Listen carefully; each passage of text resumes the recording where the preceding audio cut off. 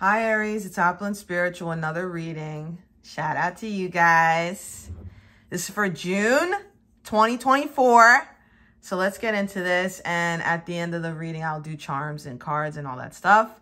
And make sure you watch your sun, moon, and rising and all that good shit. All right. So let's see what's happening for the peeps.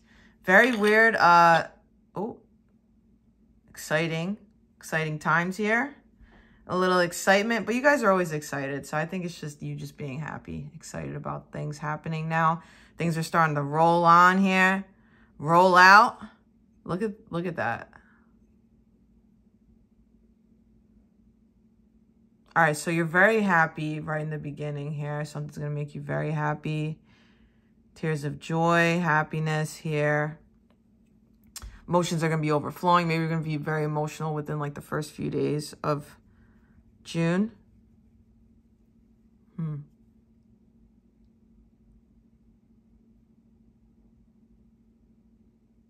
Chinese Year of the Goat, Leo.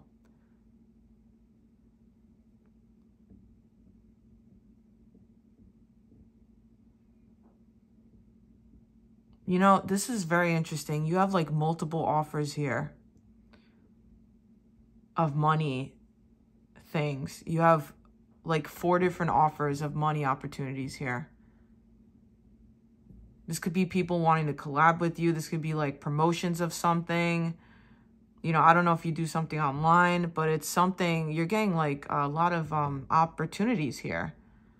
A lot of opportunities here.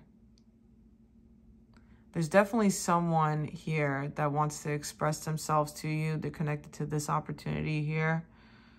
Hmm. Taurus, Chinese Year of the Pig, Sagittarius. So let's find out more.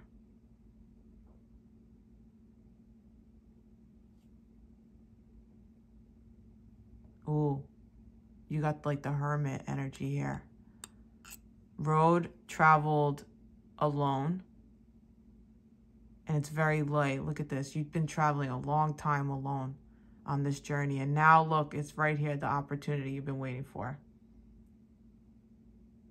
the opportunity you've been waiting for, it's it's so it's happening right in the beginning of the, the month. Woo! And my throat is getting scratchy already. So maybe you're not supposed to know that. It's supposed to be a surprise. Sagittarius, you have Chinese here, the dog here, Scorpio, but someone is leading you to this. This could be a friend or just, I'm hearing a, a colleague here. Which I don't use that word a lot, so that's weird. So Leo is here. Pisces, someone you're you're being divinely guided. And you don't have you're not uh, burdened or anything. You're not upset. It's very clear. You know where you're going. You're not lost in the shuffle of anything. You have love here. You have letter E, 333 I'm seeing. News. Love is on the mind here. Dealing with love. You have letter E twice here.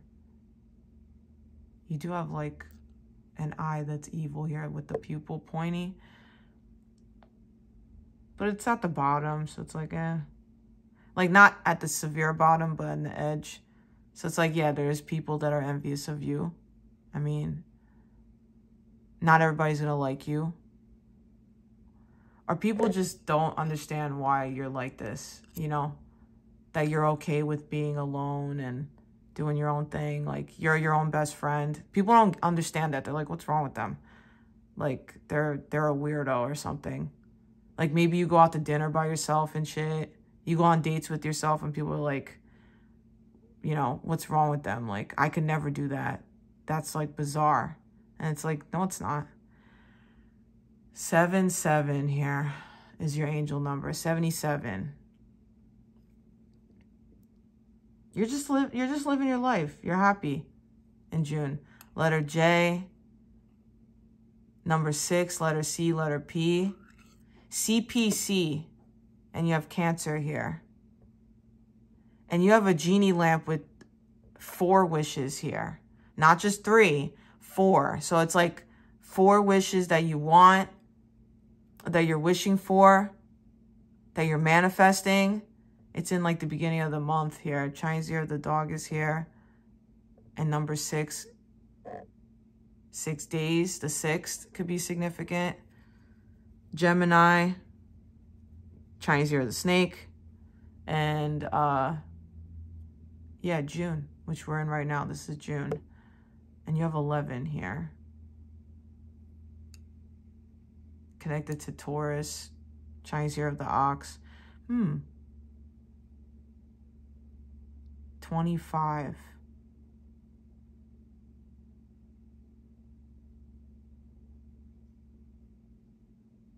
Eleven here.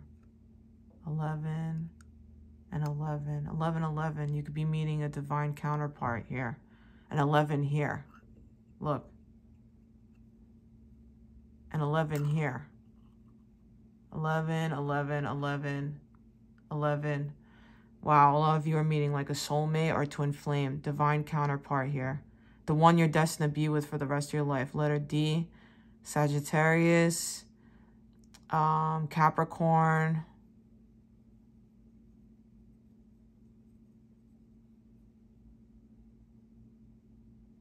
Hmm. Maybe you're leaving an earth sign. Or there's like earth energy here. Or this earth sign's um, not ready to speak up because they're in reverse. There's two people that you're not talking to right now. I'm seeing Chinese you're the rat. Um, or you lost contact with these people. 113 is here. Hmm.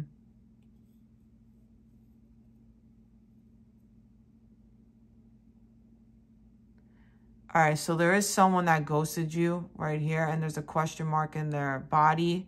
So they're confused. I don't know, but they're the one that ghosted you. So I don't, this person's a weirdo. I don't know what's going on with that. Like you ghosted me.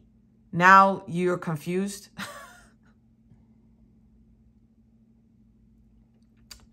so this is a big uh, no right here. So if you're dealing with something like that at the end of the month, I would just say, uh, F that. I don't know what the hell that is.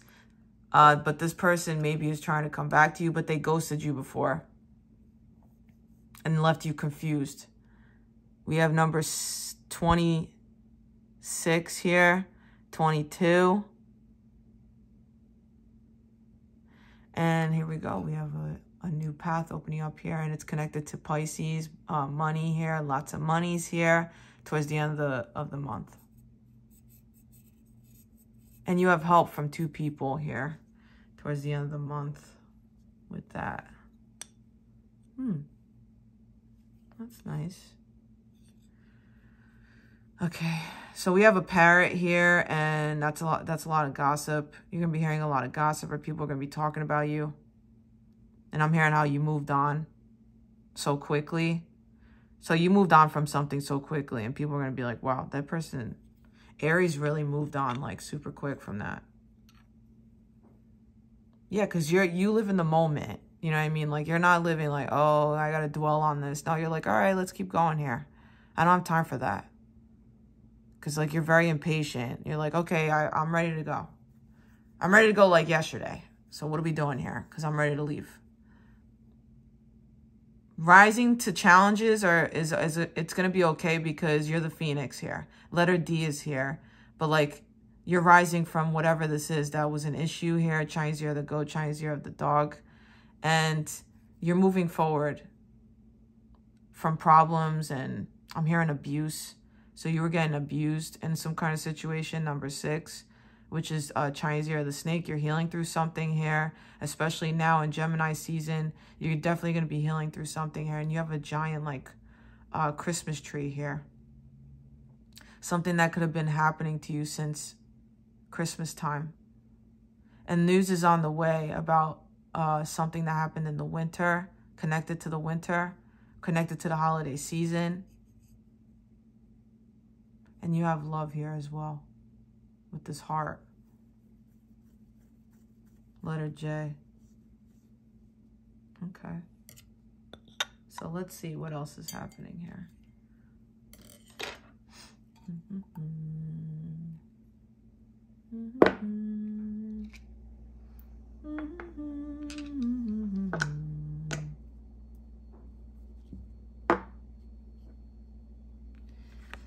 Take it easy. Take it easy. Now let the sound of you. Oh.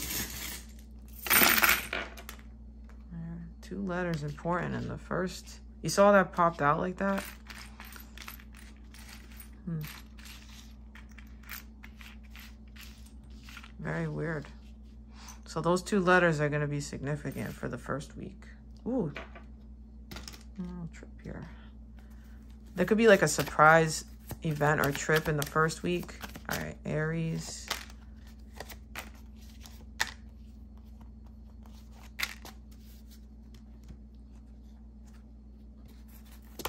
Oh, oh, okay.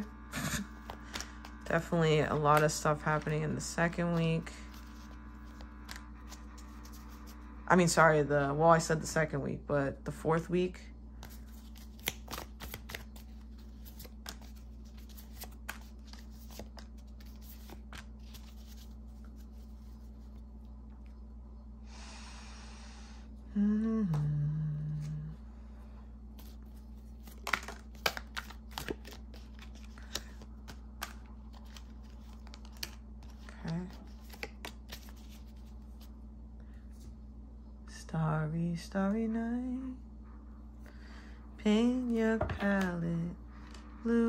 And gray. Mm -hmm. Mm -hmm.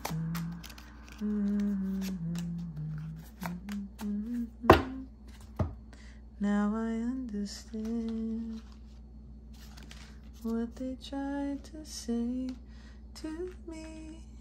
All right, let's see what's happening. First week, right? What is this? J? N. Hmm. Some kind of trip is happening here. Some kind of surprise event, a trip you're going to be very happy about. You could be moving forward on something as well. Yeah, you're going to be seeing something very clearly here, and it's destined and fated with the infinity here. Something is destined and fated in the first week. It's meant to happen. You're going to be pulled in many different directions. So make sure you ground yourself. You have Capricorn here. Wow, you're definitely going to be very, very torn between a lot of things here. Octopus and squid. Something with your family, your home, your roots could be changing. Maybe you're moving. Yeah, there's a big change here. Chinese Year of the Dragon. Taurus, maybe it started happening in May. Find joy in the journey. Wow. Because maybe you guys just want things to happen really quickly, but Spirit's saying, you know, be lighthearted, you know, enjoy the journey. Wow, another infinity symbol. You have two. Two things that are happening in the first week are fated and destined. And look, you have a third one. And has to do with love. You have fated love here. That's why I saw that 11, 11, 11, 11. You know what I mean? Like it's, this is, you're the only sign that got that so far. Earth energy. Virgo, Taurus, Capricorn. Yeah, you're divinely guided and protected beyond from any negative ill will. Yeah, you gain some kind of spiritual enlightenment here. Yeah, and you're cutting something out of your life and it's very severe and you're ending something that was very toxic. Very toxic here and you're feeling uh vulnerable, like very gentle, lighthearted, the moon and sun. Oh, I said the moon and sun. I meant to say the moon and star, but your moon and sun are going to be highlighted uh, the first week. Yeah, news is coming. From a Virgo. Letter G. Wow. Something about she believes she could. If you're a female, then you, you believe that this would happen and it's happening now and you're going to be very happy. Yeah, this is like you have the key to unlock this door now from Spirit. Spirit's giving you the the edge I'm hearing for you to move forward. The Four of Cups, there's an opportunity. There's something now being shown to you. So it's up to you to take action and take it. Broken bridge, unsuccessful outcome to a problem. That's what you were dealing with a lot since March. Pisces energy here. Major challenge to overcome. You've been having major challenges and all this stuff since March. But now a wish is being granted here. Blessings. Angel messages. Pay attention because there's going to be a lot of angel messages in romance, especially for this week, the first week, and success. Very beautiful here. An anchor. Wow. Yeah, you're going to feel very secure and stable now. You're not going to be all over the place, like worried, having sleepless nights. No. You're going to be like, all right, I know exactly what's going on. This is happening. I'm very happy. 35. Number 9, Chinese year of the monkey, Virgo.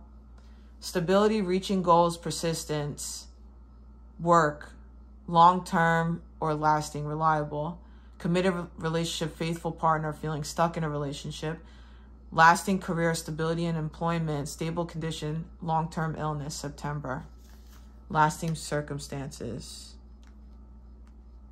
That's what's happening in the first week. So that's very exciting. They want you to know that because a lot of you are having doubts. There's a victory here. There's an X here. That could be happening in the in the second week. They could be a water sign. You're being divinely guided.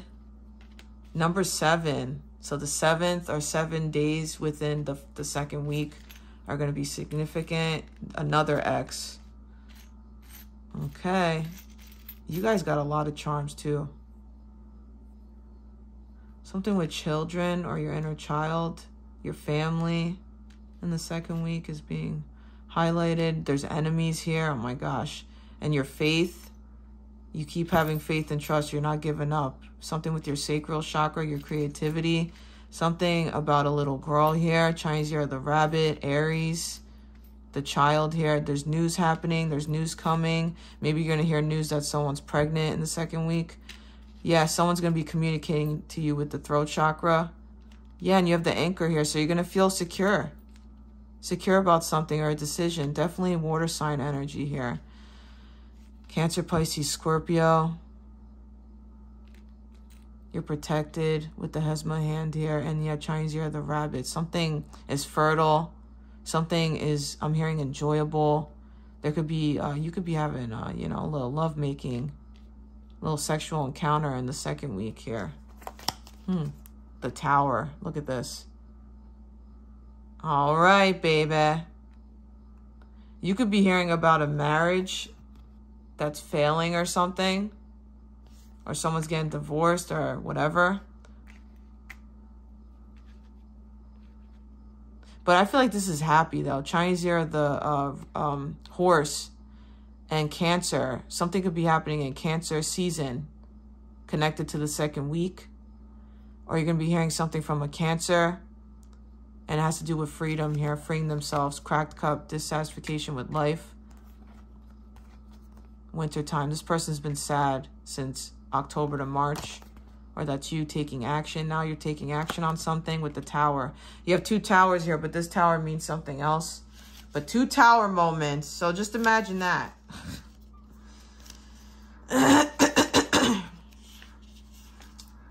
19, so the 19th could be significant. And 6, which is June. Chinese year of the snake. Gemini. Protection, school, or other institution. Isolation, something larger. And it could represent your work, a relationship. It's going to be different for all of you. Possible separation, loneliness. Preference for working alone, self-employment. May represent a hospital or injury, issue with the spine. So be careful of trips and falls and stuff like that here. So you don't get hurt. But yeah, one year. It's connected to like one year 19 days, the 19th. All right. Oh, I just flipped that. And it's the tree. So we have the moon here. You're going to be in your emotions, your feelings in the third week. Oh. Letter E. Or it's this person because they wanted to go in the drawer. They don't want to be seen. You have Aries here. This could be another Aries. Zen. Something about Europe. And I almost wanted to say Asia too. So you could be traveling in the third week. This is like Paris, the Eiffel Tower. I'm hearing where dreams are made of. This is what dreams are made of. Hey now, hey now. This is what dreams are made of. Family, your roots, your ancestors. Maybe you're being rewarded with something because you have good luck. You're protected. Wow, and you have a Om here. Wow, divinely protected. You could be chanting, connecting to your ancestors. You're grounded. You're safe. You're protected in the third week. Let's see. Judgment. Yeah, because things are happening. Like everything is happening very faithfully. Like you're not even trying. You're surrendering to the divine. And you're and things are happening like it's like magic. You're like, wow. Romance is in the air. Broken ring, partings of the way in either romance or business. So it's like some of you, you could be leaving something and starting something like, and it's just very like an infinite loop. There's no disruption. It's like, it's just perfect. Dog far away, distant friend is thinking of you. They could be a Scorpio. Tower again. You have tower three times. Tower, tower, tower. solid, solid foundation, success with effort. My throat.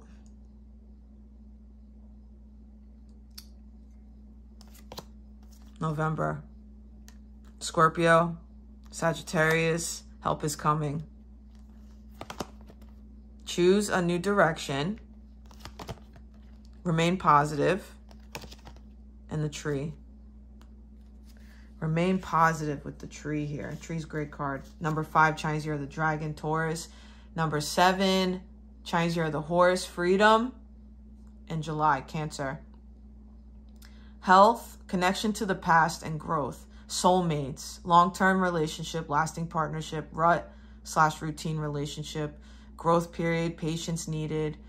And um, I'm not seeing anything with health here, but it's definitely a judgment here. And the third week is connected to something that happened in May. And within five days of the, of the third week, you're going to know what that is.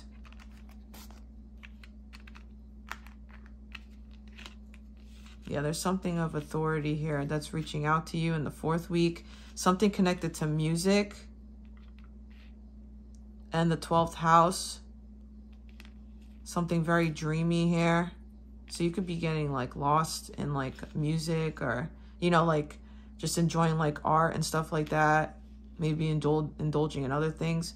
You're divinely guided in the fourth week. You're being um, watched over by spirit and you're hesitating to do something, to take a risk or a leap of faith. And it could have to do with like some kind of long journey or some kind of trip. Hmm.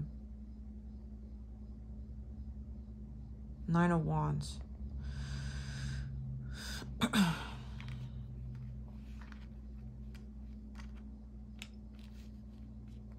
you look sad here. I don't know what's going on. But like the candles are all lit and they're bright. But maybe you still feel confused.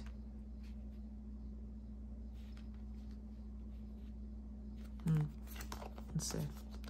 Increase your efforts if you want to achieve your goals. New job. Maybe you're confused. There's like a new job, new opportunity. Maybe you're hesitant. You don't want to take it. Gossiping. And soul connection. Maybe it's a soul connection too. Wow, these are flipped up like this. So the, oh, these are the two that flipped up when I was shuffling within the next few months. Maybe that's why you're feeling a little disappointed. A peaceful resolution. Something in the fourth week's going to make you feel disappointed. And you have the fox here, which is uh, not really a good card. So let's see. Wow, it was going so good. And then it just, the fourth week. 14 and number 9. Chinese year the monkey, Virgo. Cunning, intelligence, tricks, or mischief alternately can represent your work. Unconventional relationship, deception, manipulation career-oriented person, untrustworthy coworker, undiagnosed, misdiagnosed issue, get a second opinion. So if you've been feeling like that, you know, maybe go get another checkup or something connected to the winter. But yeah, that's all I have for you. Um, I hope you enjoyed this. Let me know, comment down below. And uh, good luck with everything. Namaste, love and light.